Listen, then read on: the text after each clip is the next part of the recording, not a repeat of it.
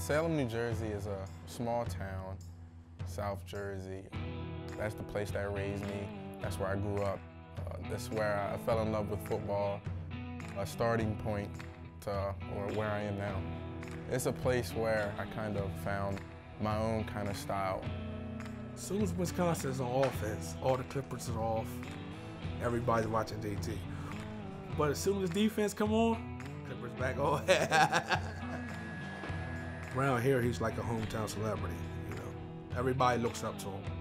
Every day to work on my left side on my heart. That's my baby. I love him. When he has that ball, I know JT's going to make a touchdown. You know, watching him on TV, he had like three touchdowns. I got up and started crying. You know, like, oh my God, this is my son. You know, I can't believe I'm watching him on television. And I felt as though I was out there.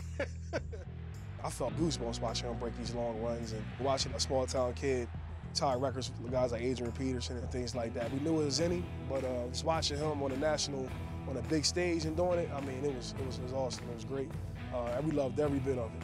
I carry South Jersey with me every single day. I know that's just where I grew into the competitor that I am today. So just always having that in the back of my head, it pushes me every day.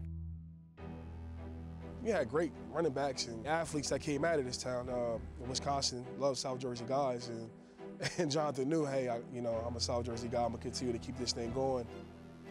I was a guy that came from Jersey. I won Heisman. I was a big-time guy from Jersey, so we started looking back at Jersey, and it just made it that much easier because, hey, you might as well come here. We're gonna run the ball. So do you want to run the ball or not? I had the Jersey rushing record, and then a few years later, we were recruiting Corey Clement. He broke my record. And then a couple years after that, Jonathan broke Corey's record. So, you know, the dominoes fell in place. When they get here, the football part of it comes easily. Jonathan came in and was kind of, hey, I'm carrying the torch. He kind of understood what was expected of him. He just came in and, and went to work from day one. The running backs that played before us kind of paved the way for us, and you have a, a roadmap that leads to the top. And there's different paths you can take, and it's up to you to either try to follow one of their paths or create your own path to the top.